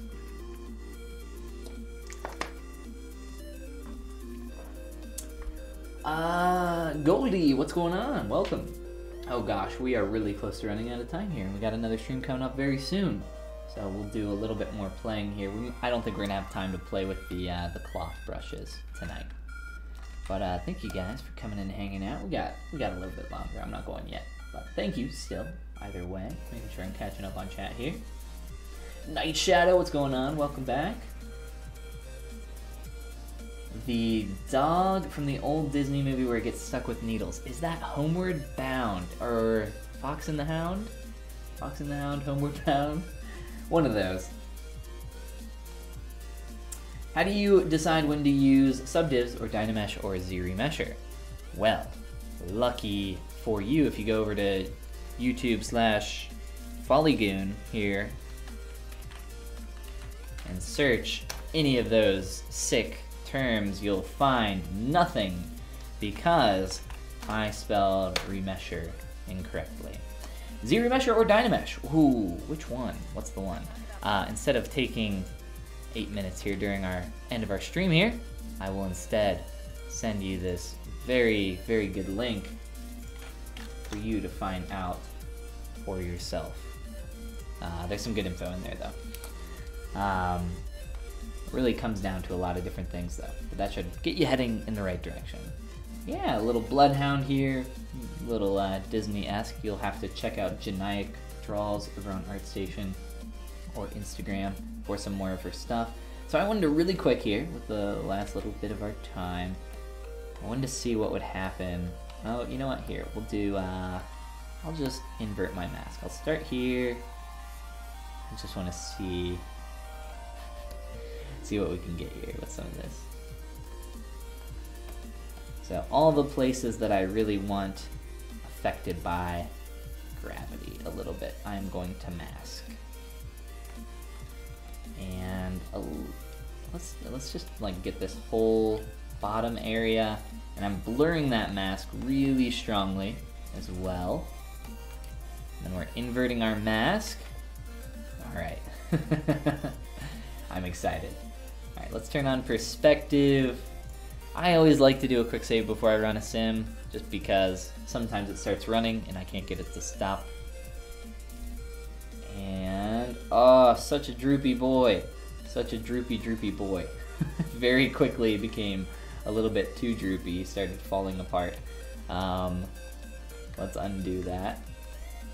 Let's uh, let's mask this area a little bit more. Oh, we'll turn off uh, our symmetry there. I love how how doofy some of this stuff gets with the uh, the simulations really quick. It's pretty funny. Um, and then you know there's some weird pinching happening up here, and I think that was from the star and the topology in those corners. Not really sure. Uh, let's set. Here, I'll set the direction, make sure that's going the right way. Hmm. I might do like a little bit of inflate had it on two earlier. We'll try like one. Alright, I just want to see kind of the extreme here of this. And honestly, I should probably be doing this uh, this top area and the lower kind of jowl area separately. Uh, honestly, I kind of like this. Uh, I'd probably have to resculpt some of this form around here. There's some fun stuff going on there. Like, this stuff is so much fun to play around with. Like, there's some really cool effects that you can get there. I wanted to uh, mainly just make that a bit more, um, a bit more droopy around this area. Just ever so slightly, not too much. So we'll hold off on the, uh, the flattening of the jowls there. We'll just focus on this area. Oops. Really make sure that we're not getting the eye. Alright, one more quick one. Just for like five seconds. Oh, come on. There we go. It's not always super responsive to hitting that escape key. So that's also another great reason to store a morph target kind of fade between those. But yeah, just like that that amount of extra, you know, form there pushing forward against the, the weight feels so cool. I love that stuff. Ah, and get, using just a little bit of inflate as well helps to get that feeling a bit more rounded there. Awesome. Well, uh, we're pretty much out of time here. So thank you everybody for coming and hanging out during our stream. Appreciate all coming, hanging out for a little bit. Created a little snake dog here. I didn't I didn't think we would have enough time, and we didn't, to do the uh, the entire the entire pupper pupper douche here. But we had fun working on the uh, the head, and we also got to play around with some dynamic stuff. The dynamic sim stuff is always so much fun to play around with. So hopefully you guys enjoyed it, maybe learned something new along the way. Uh, again, my name is Ben, uh, uh, or Follygon. That's not my name, but that's my uh, my handle, as they say, where you can uh, find me on the Goog. So check out my YouTube channel. Released a new video a few days ago, or five days ago now, uh, kind of showing my process sculpting a character from beginning to end on this witty thief character, which was a ton of fun, collabing with Chelsea Gracie.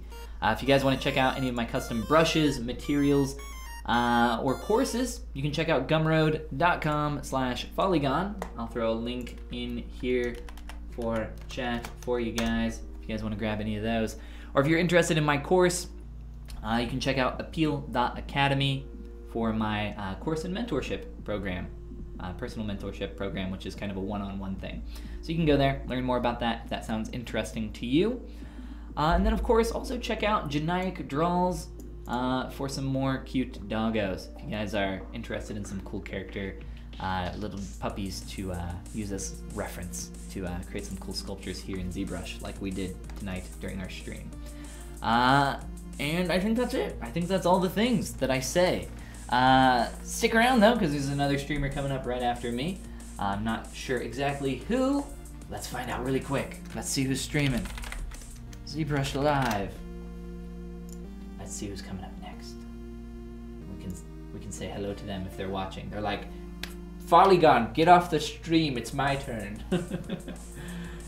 Let's see. Hmm. Where is the... Where is the schedule? I don't see the schedule. I'm sorry. I don't know who's next. I don't see the schedule. The, uh, the website looks like it's outdated.